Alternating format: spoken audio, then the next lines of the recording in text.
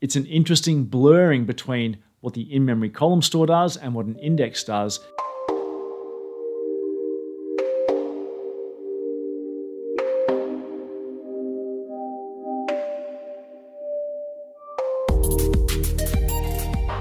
I did a video recently, which I'll link somewhere here, which talked about the fact that you can now get 16 gigabytes of in memory column store for free in more recent versions of the Oracle database. I thoroughly encourage you to take advantage of it. Now, stepping back to a more philosophical discussion about the in memory column store, what it's doing is it's a structure in which you can take queries which were previously running slowly and now they run quicker because they're using this new structure.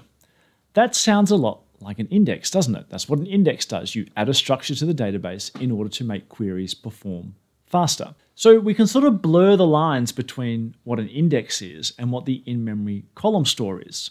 And if we can sort of get our heads around that blurring, then I'd like to introduce you to a facility called an in-memory text index, which is sort of an index sort of an in-memory column store, it sits in that middle ground I just alluded to. I look after the Ask Tom database and we take questions in from the community. We've got 30, 40, 50,000 of them nowadays, and it's all stored in a CLOB.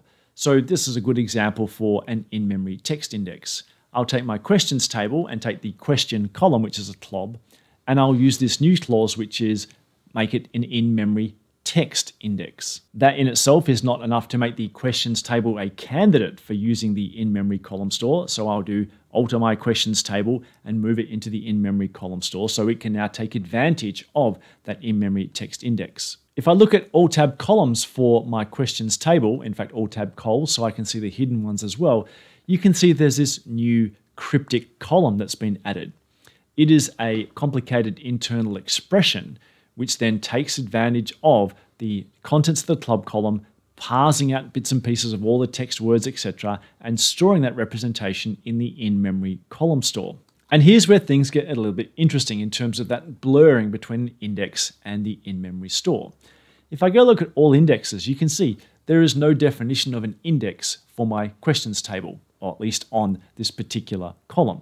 If there's no index, normally that would mean I could not use a contains clause but I can go ahead and write a contains query on my questions table now. In this case, I'm looking for any question that someone's provided that contains the term UTL match, and up comes a list of email addresses of people who submitted such questions. When I look at the execution plan for that query, we can see we did table access full of the in-memory column store. However, if we look at the filtering information, we can start to see the kind of internal expressions that were used to access the text elements of the index that are stored in the in-memory column store. So the cool thing here is that my table sits outside the in-memory column store, but the text index or the components thereof that will satisfy a contains clause are stored in the in-memory column clause without the overhead that would conventionally come with a full text index, namely the six or seven underlying tables and indexes that are built normally in the data dictionary.